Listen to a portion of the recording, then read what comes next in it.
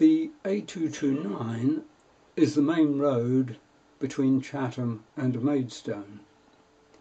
When you go down Bluebell Hill, at the bottom there is a garage service station and then immediately a turning to the left. This is Old Chatham Road. It was the main road before the current dual carriageway superseded it 40, 45 years ago. It then became a quiet backwater, and for most of this period, it's been a very convenient parking space for people who wish to, to break their journey. At the top end, there's a field each side, but farther down there is housing. And apparently, in recent times, HGVs, heavy goods vehicles, have taken to parking there overnight and they have been a nuisance to the residents there. So it was decided to uh, do something about it. In 2016, I cycled into Old Chatham Road and I was absolutely amazed with what I saw. There was an absolute forest of plastic reflector bollards, hundreds of them, I would say. I'd never seen anything like it. Initially, I was amused at the silliness, really, of what I was seeing. But of course, this quickly changed to irritation and then perhaps anger at the thought of all this public money that was being wasted on a project which was bound to fail. Two years later, 2018, again I cycled in, into the road. All the bollards have uh, disappeared. There's an excavator ripping a uh, metre wide channel through the concrete substructure of the road right down the centre line. And then into this channel, two parallel curved concrete curbs are being placed. This is backfilled with concrete and um, bollards placed on top. What was this, I thought? Well, of course, this work was presented as the creation of a cycle track. Now, I've cycled between Chatham and Maidstone many times over the years, and one part of the route where I never felt the need for a cycle track was Old Chatham Road. They have created a cycle track, but this is not the object of the exercise. Really, this is a parking control project. Here you can see in Dock Road, Chatham, a much busier location for traffic, that all that separates the cyclist from the motorist is this single white line. Why, th- why therefore, in uh, this current project, is it necessary to create this massive barrier? But let us suppose for the moment that a barrier is required. Here again in Chatham, you can see a cycle track which has been there for many years. And all that separates the cyclist from the motorist is this single upstanding curb.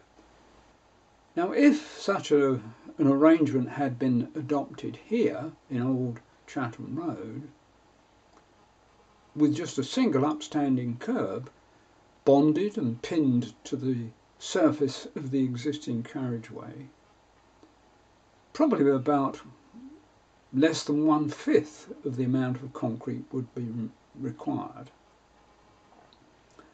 I'm sure if I bothered to look that I would find a, a KCC mission statement saying how ecologically, ecologically concerned they are. But this is mere words. If the simpler arrangement had uh, been used, then of course we would have saved all that extra CO2 which is pumped into the atmosphere. And additionally, of course, the excavator itself pumping CO2 into the atmosphere. And then the exhaust from the excavator with all its pollution. I suggest all of this is unnecessary. On this short length of road, there are about 200 plastic reflector bollards. Why do we need all these? I'm sure we do not. There are many hundreds of miles of secondary roads in Kent which have poor alignments, poor sight lines, they're two-way working, and yet mostly they do not have any reflector bollards. Here, the uh, there's very little gradient, the curvatures are smooth, the alignment's good, the sight lines are good. So why do we need so many? And there is the other consideration. What about the maintenance legacy as these bollards gradually get demolished? Are we going to have the legacy of uh, disarray, as is often the case where plastic bollards are used on secondary roads? This is a typical scene. Standing here, there are no cars, no cyclists. This is the situation for most of the time. How long would you have to wait for a car? Several minutes. The cyclists, well, it's a sunny day, so there might be one within the hour. What then could have been done here, bearing in mind that this is just a quiet backwater? Well, the original centerline white line could have could have been retained and then set into it some reflector road studs. And then set well back from the white line so as not to be a hazard to the wilder members of the motoring community.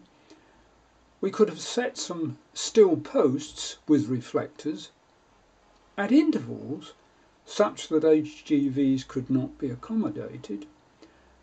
And then farther down the road, the spacing could have been reduced so that only cars could park and therefore not be a nuisance to the people living there. This would have retained the very useful stopover parking space that people had enjoyed for the last 40 years at the top end of the road. The cyclist could easily have been accommodated merely by resurfacing the existing footpath because after all there are very few of those. Now, if the job had been done in this way, I suggest that the overall cost would have been less, probably significantly less, than 10% of the money which has been expended. How much has been expended? Well, the original 2016 fiasco, I see, or I have seen, a figure of £40,000 attached to this. And of course, this has been entirely wasted. I made a freedom of information request to KCC to find the actual cost of the more recent project, uh, but they were not forthcoming.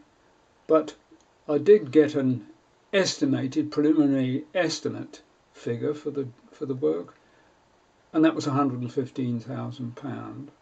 So one would anticipate perhaps that the actual work cost more than this. Now, I have not uh, been party to any of the previous debates and arguments that might have gone about this uh, project. So I may be missing something. But if I am, I would certainly like to know what it might be.